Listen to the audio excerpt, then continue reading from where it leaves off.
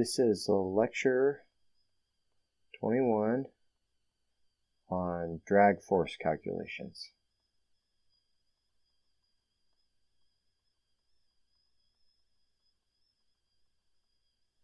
Today we're going to talk about, first we're going to talk about the uh, drag force formula.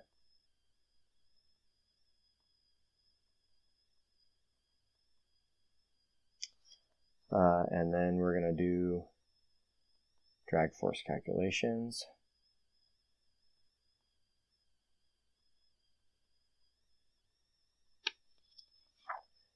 And we have an example uh, here of drag on a sphere in creeping flow. And I think that's it. Oh, we'll have another example of drag on a sphere in inviscid flow. All right, and the reading that goes with today's lecture uh, is in Deen. Um, it is 6.6, uh, 8.3, and 9.2. Okay, and 6.6 has some stuff about uh, force calculations, especially on page 152 to 154. All right, so let's get going. So first, drag force formula.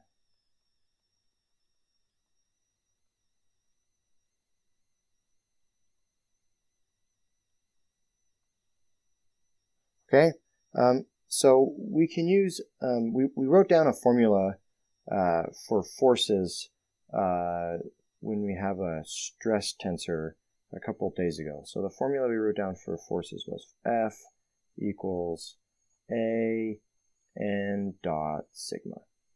All right, um, and sometimes we want to uh, uh, have you know an area that's complicated, so we can write this as a differential df. All right, and then that equals n dot sigma dA, and then we'll just integrate. So if we integrate both sides, df, okay, that's going to give us f, what we want, and that's going to be then the integral over some area of n dot sigma dA. Okay, and now remember, okay, remember, right, um, that sigma, the total stress tensor, is equal to minus delta p, where that was the identity matrix, um, plus tau the viscous stress tensor. So we plug that in, we can expand our force formula. We talked a little bit about this uh, several lectures ago, but I'm just going to go over this one more time. Okay, uh, n dot delta p dA plus a n dot tau dA. Okay, and this guy gets simple uh, gets simpler, which is minus the integral of, scroll down a little bit more, of np dA plus integral over the area of n dot tau dA. All right, sorry if my handwriting is poor. I'm doing my best here. Okay, so this is our um, force formula. All right, I'll try and put a box around it. All right, so um, we, we'd like to be able to calculate the drag. So think we're going to do a couple examples today where we have a sphere, okay, and we've got some flow around the sphere, all right, and in some coordinate system, this might be the z direction down this way. I'm trying to think. Um, see x, y, so x, y, so this would be y, I do the right hand rule, all right? Um, and so if we want to find the force in the z direction, we're going to do f dotted with the unit vector for the z direction, okay? And carrying that through, we're getting it minus integral over an area n dot, oops, n dot ez p dA plus, and then we'll have um, n dot tau dot ez dA. Okay, so now this is just going to be our drag force, right, in the z direction. Remember that we would say that the drag, you know, if, if the velocities are coming in here, the drag is in that direction, lift would be in that direction. So the lift would be F dot EY. That would give us lift. Okay, whereas F dot EZ gives us drag. All right. So, and then look at this. Remember I said this before, but this is key. Okay, this is our pressure drag. This is pressure drag. Right, and this is our friction drag. Right, so we can calculate both those components. So when we said way back when, when we talked about drag coefficients for the first time, all right, these actually have mathematical pieces. They're two different parts of the integral, one with the pressure and one with the viscous stresses that give rise to the friction drag. All right, so um, let's do a quick example.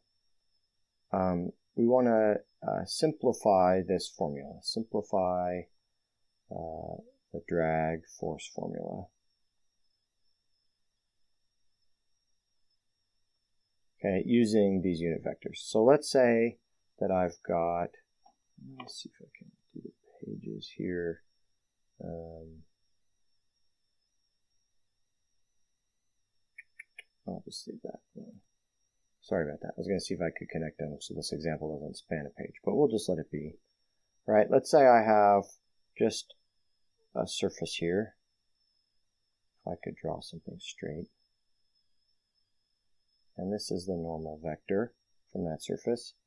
And let's say now that I've got something here where I've got z here, and um, I'm going to make this x because that was what I did in my example, and y is into the board. So y into the page.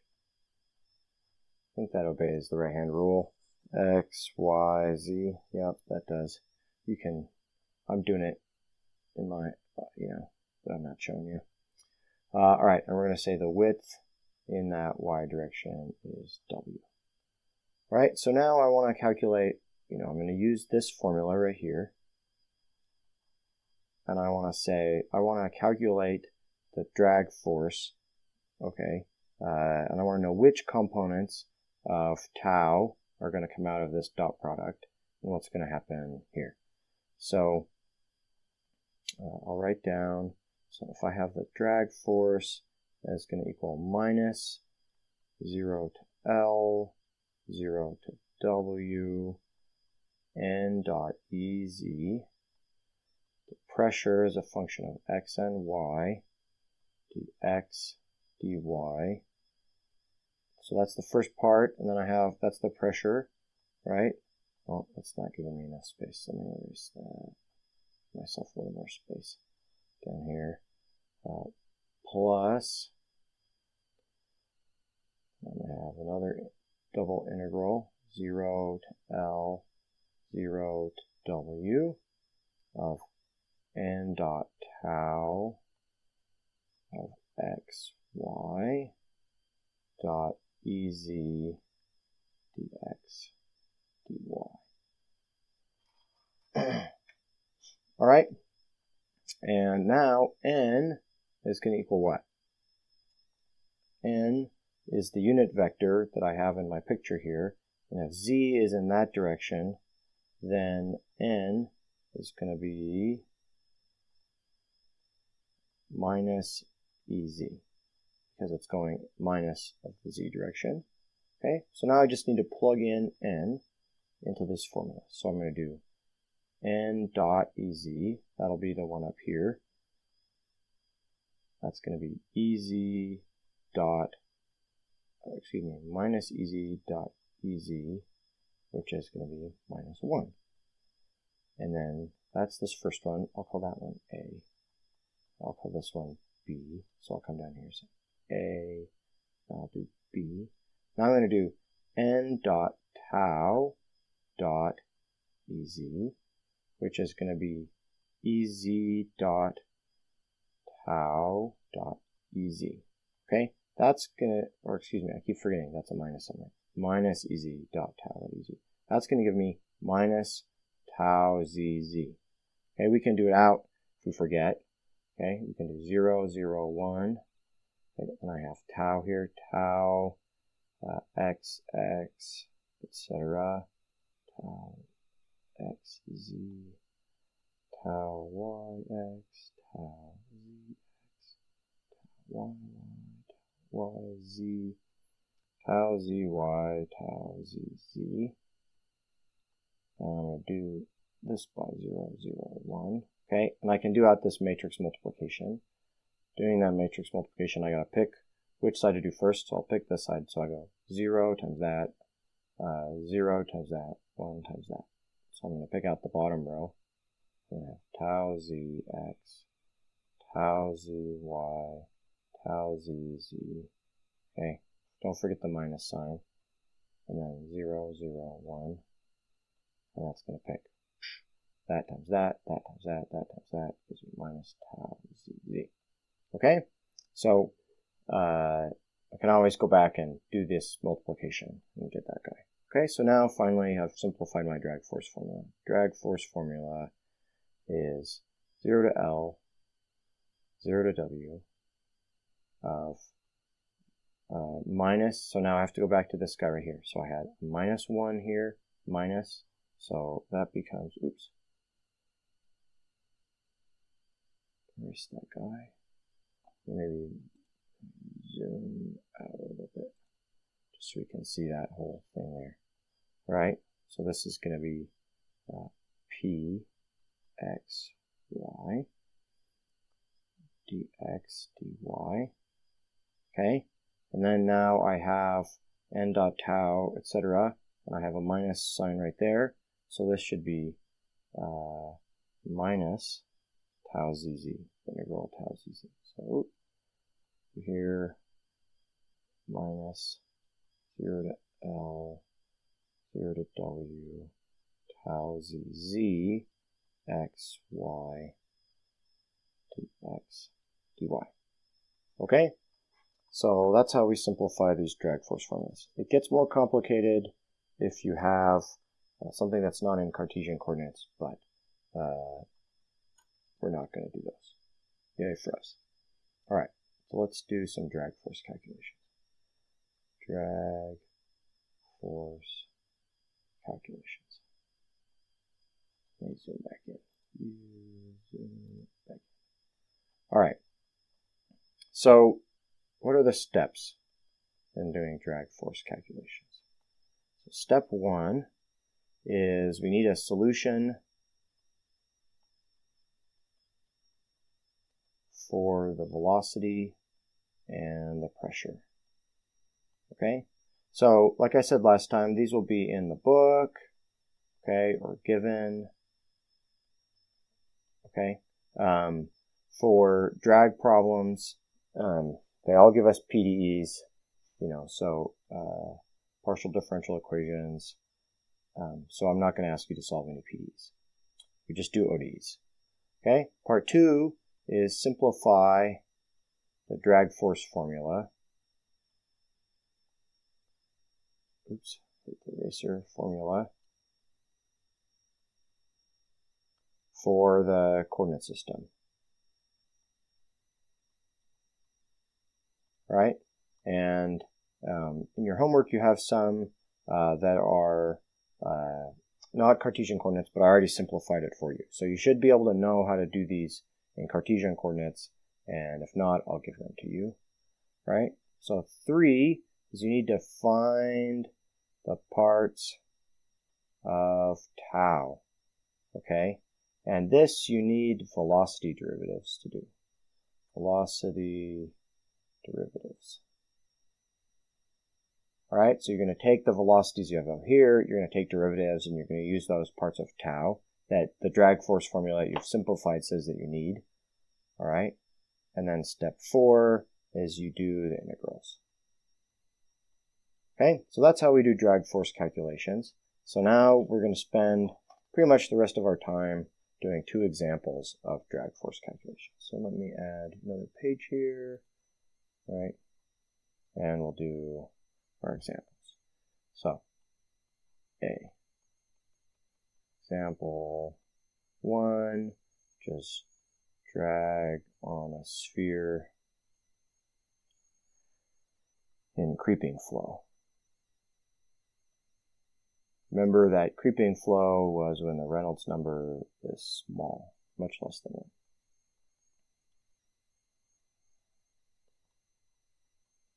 All right, so the solution, so we'll do the steps here. So we need this solution.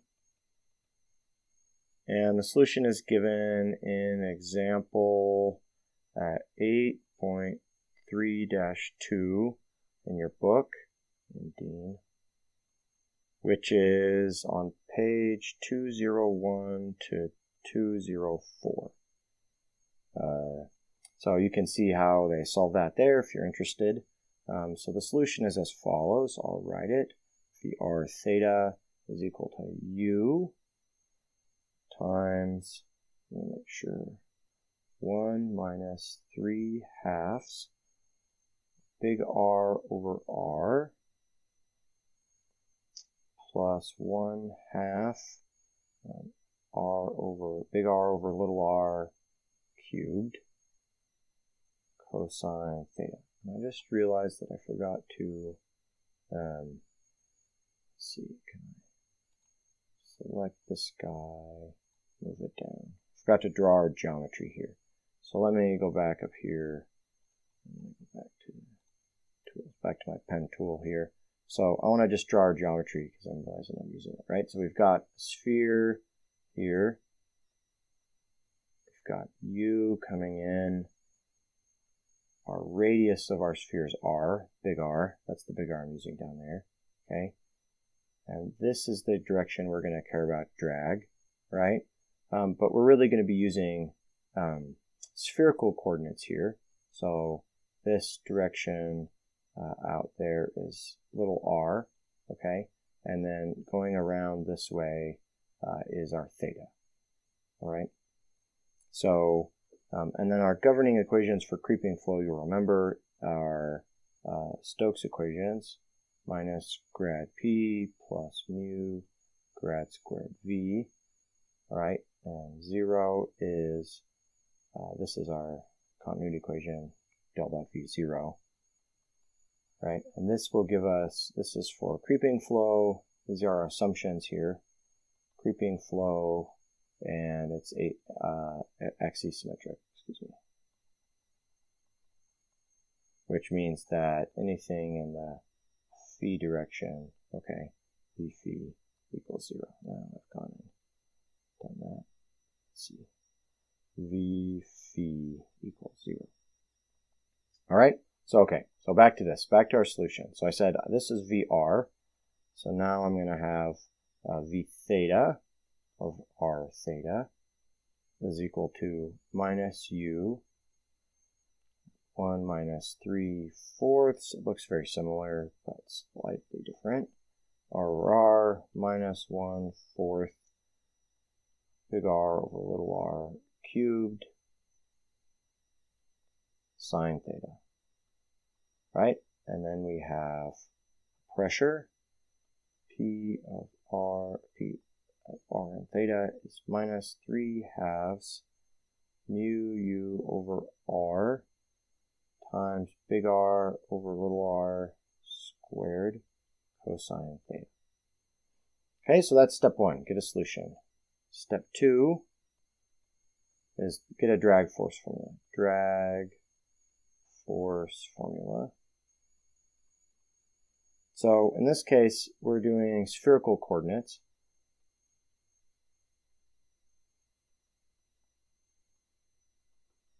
All right, and those are kind of hard. So, but there's actually uh, in your book equation 8.3 3-38, um, which is on page 205. It's not the best writing ever. Um, oh, that didn't work. Rewrite that 8 there. 8. Sorry, I'm using this old pad. I don't have some nice screen to write on, so it's kind of hard for me to write here. So apologize for the handwriting. Okay, but they have the equation in spherical coordinates. Um, and this is for a solid sphere. They make another simplification. So the one in your homework is for not a solid sphere. Uh, just watch out for that. Okay, so here this is minus 2 pi r squared integral over 0 to pi of p r theta. Notice that's a big R, so it's evaluated at the radius cosine theta plus tau r theta at r theta. Again, big R, sine theta, right? And then these are in square braces, and this is a sine theta d theta. So that's the integral that we're going to have to do to do the drag force calculation.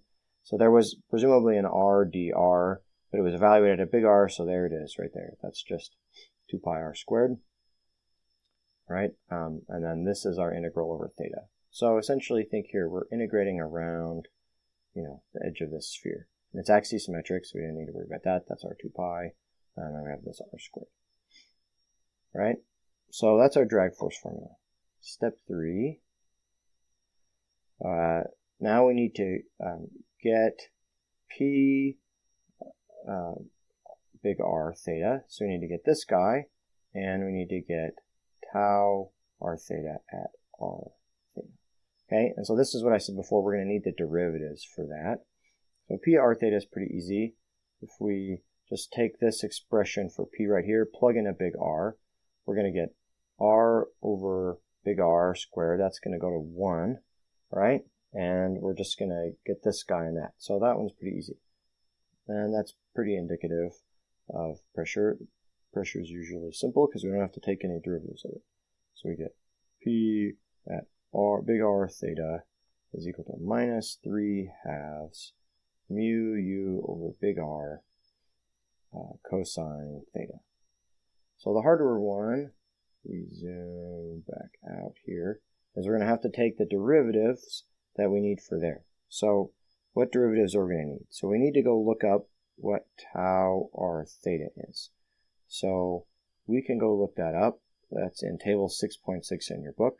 So that's r d dr v theta over r plus 1 over r dvr theta. Close break. So I said that's in table 6.6 on page 143 in your book. So remember this is the viscous shear stress.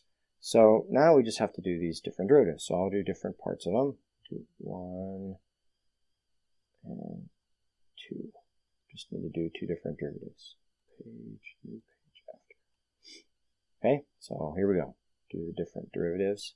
So first one there, we need to do r d dr uh, v theta divided by r. So r d dr. Then we need v theta. So we need to write down that guy right there divided by r. So I'll write it down. Sorry you can't see it. It's kind of hard to to manage on the screen here. So that's a minus u times 1 over r minus 3r divided by 4 little r squared minus big R cubed divided by 4r to the fourth sine theta. And we're taking the derivative of all of that to there. Right? So now just have to evaluate the derivative which is minus u sine theta. And then taking the derivative so I just pulled the minus u sine theta out. Now the derivative there is going to give me negative 1 over r squared minus a negative 2 times 3r over 4r to the fourth. I'm going to go down another line down here. Minus, minus 4 uh, r cubed divided by 4r to the fifth. And close that brace. Alright, um, so I can simplify a little bit. It's going to give me, I'll multiply through by that r, gives me minus u sine theta minus 1 over r plus 3r over 2r to the third. Uh, this should have been not a fourth here, should it? That's a mistake, isn't it? That should have been a third. Excuse me. So this should have been a third here. There. And this one should be a squared. So this one came because I took this r to the minus 2, should be minus 2r to the minus 3. And then when I multiplied through by r, that should give me r squared. So sorry about that. All right, and then plus uh, r cubed divided by r to the fourth. All right, that simplifies it. Right, and then what's going to happen now is we're going to, uh, well, now we'll do part two. This this derivative is a lot easier. We have 1 over r dvr d theta, and that's going to be 1 over r of d d theta of this guy, which I'll remind you was 1 minus 3 halves, big R divided by little r, plus 1 half, big R over little r cubed, and then there's a u cosine theta. So here now this all this stuff is this this constant with respect to theta. So I just have the derivative of cosine theta which is a minus sine theta. So now I'm going to have a minus uh, u sine theta, and then I multiply the 1 over r through. So I have 1 over r minus 3 big R over uh, 2 little r squared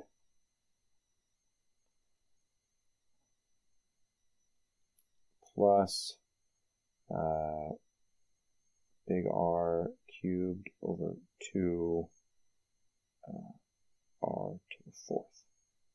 Right? And now if I look back up at my formula here, I'm tau r theta okay, is mu times the sum of those. So now I can do that. Tau r theta is mu times, and this has a u sine theta minus u sine theta, and that has a minus u sine theta. So minus u sine theta bracket, and I'll just write these down. Minus 1 over r plus 3 big R over 2 little r squared plus r cubed divided by r to the fourth. All right, now this one plus 1 over r minus 3 big R over 2R squared plus R cubed over 2R to the fourth. Okay, so that one cancels with that one, and that one cancels with that one, and this here, I'm now going to have a 3 halves. So tau R theta is equal to minus 3 halves mu u sine theta, and then I have uh, r cubed over r to the fourth. So now I want to evaluate it at the wall, or at the edge of the sphere, big R theta. And if I plug that in, I'm going to get a 1 over r in the bottom. So let me scroll down a little bit. Actually, I think I want to give myself a little more space there. Tau r theta, big R theta is equal to minus 3 halves u u sine theta all divided by r. Okay, so now we're almost done. Now we just need to do step four, which was evaluate our integrals.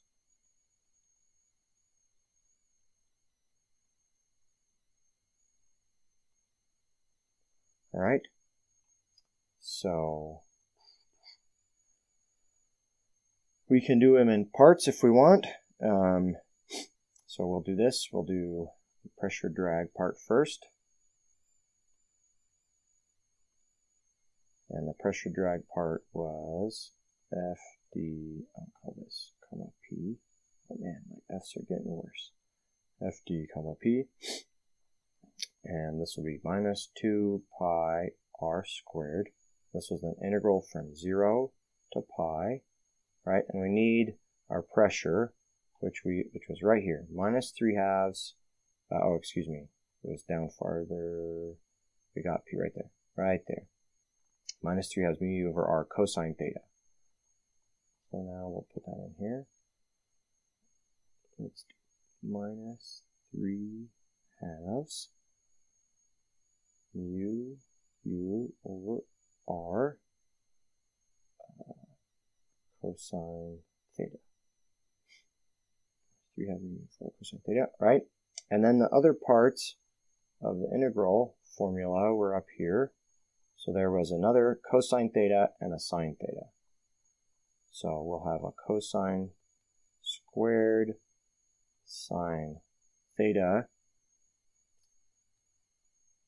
theta. So now we just have to do an integral. We can cancel out some stuff. So the 2 cancels there, and, and r cancels there, and we get minus 3 pi uh, r u u and 0 to pi of cosine squared theta sine of theta d theta. Right, I'm not going to bore you by doing u substitution, but you could do u substitution here. And that will give you 2 thirds on that integral. So now 2 thirds, the drag here is going to give you minus uh, 2 pi mu u r. Okay, perfect. So that's our drag for the pressure. Oops, that P got pretty big.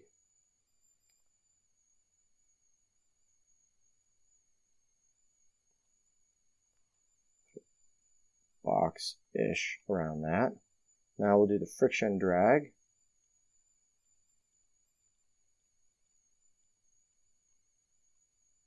Okay, and that one's FD, I'll call it, call it tau, is minus 2 pi r squared, integral from 0 to pi. Now we're going to plug back in the tau r theta that we had right there. So that's going to be here minus 3 halves mu u divided by r and this one has a sine theta. Okay, then we need to go back to our drag formula up here. The drag formula had a sine theta and a sine theta. So that's going to have a sine cubed d theta. Right? So similar game here. The 2's will cancel. And we're going to get an r that will cancel. We'll have a minus 3 pi mu u r integral from 0 to pi of sine cubed theta d theta. Right? And again, won't bore you with math, but this gives you 4 thirds. So you can go to Wolfram Alpha or do a symbolic solver somewhere, do it numerically and find out that's 4 thirds right? So now this gives us minus 4 pi mu u r. That's FD tau. All right, so now what's our total drag coefficient? Well, our total drag coefficient is just the sum of these, right? So the total drag coefficients minus 2 minus 4 minus 6 pi did it. We did a drag calculation. And I said the whole point of this was to be able to do um, drag coefficient. So can we calculate the drag coefficient? How can we do that? What is the drag coefficient? So the drag coefficient, I'm going to go back. I think I had zoomed out, never zoomed back in. Maybe that's why my view zoom in.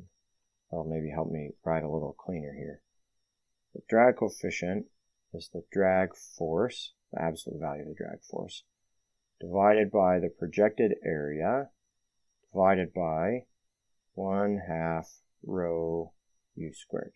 Okay? Why is that brings up, so why did I say absolute value? This one's negative. Why is it negative? Well, it's going in the minus z direction, right? So if I go scroll all the way back up here, z was in that way, the drag force is going back that way, right? The drag force is minus. So that's why it's minus sign. It's a good thing. It comes out like that. Okay? So now I just have to plug this in. So the drag is 6 pi u u r. And I'm going to divide by projected area, pi r squared. And I'm going to divide by 2 over, or multiply by 2, multiply by rho u squared. Okay? Now, just start canceling. So, squareds cancel there. The 2 times the 6, that's going to give me a 12, uh, 12.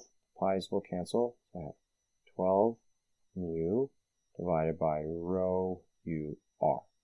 Well, that's the same thing as 24 mu over rho u d, where d is the diameter. And that right there is the Reynolds number, right? So that is the same thing as the drag coefficient is 24 divided by the Reynolds number. That is what we derived for laminar, or that is what we said earlier in class for the laminar uh, flow over a sphere. We did it. Okay? We found it. That's awesome. All right. So that was our first example. So you have a problem very similar in your homework. So uh, if you need to, you can go back and rewatch. Hopefully this format is okay. It's probably uh, worse than it is in class because I can't answer any questions. Um, but hopefully you'll be able to go back and rewatch some of it. All right. So now we're going to do another example. We're going to do drag on a sphere in inviscid flow. Right, this is our last example. Okay, so same geometry. Got some average velocity out here. Okay, I've got this is r equals big R at that spot. Okay, this is my z direction I'm defining. Okay, and notice out here, this is zero. This is inviscid. Uh, viscid and irrotational. Okay, so I have no vorticity out here, what I said before, I said Kelvin's theorem was if it starts out uh, irrotational, it stays irrotational. Okay, so my governing equations here are going to be Laplace's equation, um, where the velocity can be get, gotten from the velocity potential. So this is called uh, potential flow.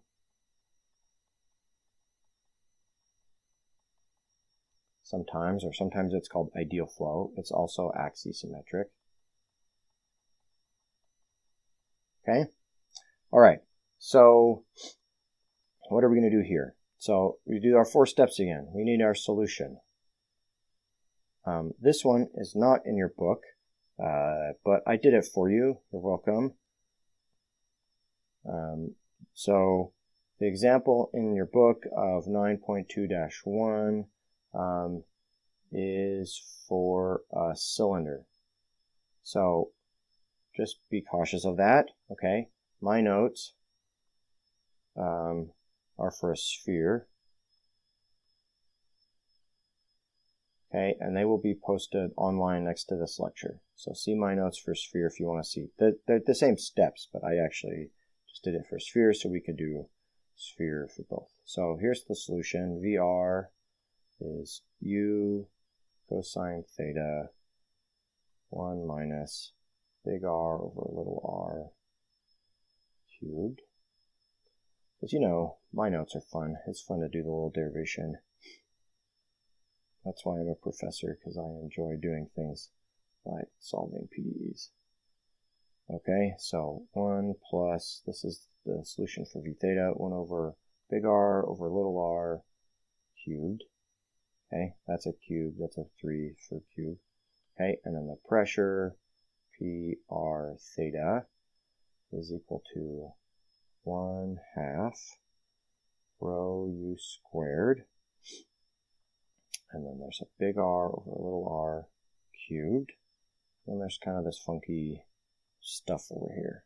So this one, 2 minus 4 sine squared theta minus r over r cubed.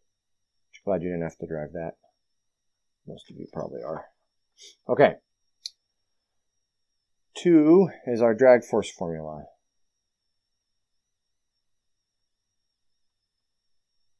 Okay, this is the same as last time, um, except now there's going to be no friction drag. So why is there no friction drag? Well, this is inviscid flow. I said there's no friction around uh, in this flow at all. There's no viscosity. So, uh, you know, if I have uh, tau or theta is mu something, okay, uh, I'm essentially taking the viscosity to zero. So there's no viscous forces. That makes this problem easier. So I've got that drag force is equal to minus 2 pi r squared, 0 to pi, and all I have now is p r theta cosine theta sine theta d theta. All right, so now I 3 is way easier. So I don't have to, you know, I'm going to get p of r and theta. I don't have to do um, tau derivatives. Yes. Much easier. So I do P R theta. So I plug in up here. So R over R, that goes to 1. That one goes to 1. All right. And then I can cancel a 2 here. So I'm going to get a uh, rho u squared um, uh, times 2 minus, or excuse me, just said I could cancel a 2, right? Um, 1 minus 4 sine squared theta. And I'm looking at my notes here thinking maybe I made a mistake. Did I make a mistake in my notes? If I wrote 1 half, I can't have another half. So I hope that's right.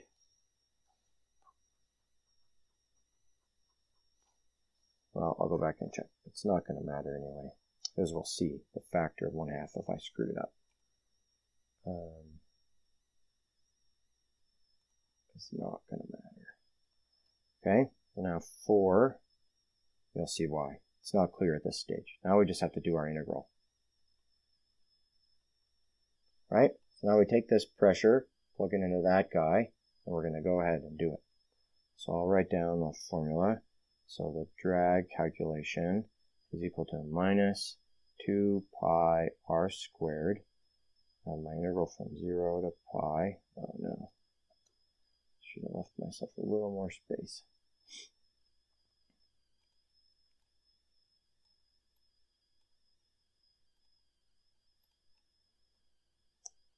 Pretty convenient to be able to do stuff like that. Drag. Go back to my pen tool. There we go. All right. Uh, and now I plug in um, u squared 1 minus 4 sine squared theta. And then I have cosine theta sine of theta d theta.